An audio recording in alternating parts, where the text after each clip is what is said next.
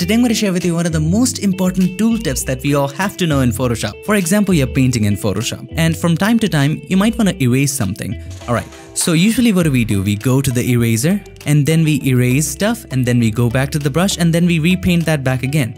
Now instead of doing that while you're painting, you can hold the E key. It takes you to the eraser, then you can erase it and when you release the E key it gets you back to the brush. So holding is the key. It goes the same for the other tools as well. For example, you want to select something and you want to create the hair. So you can hold the L key.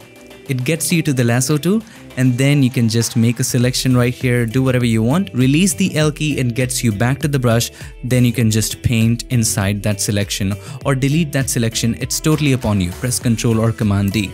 All you have to remember are the shortcuts for each tool. For example, here you can see it's L, for the brushes, you can see it's B. Just remember the shortcuts and you're good to go.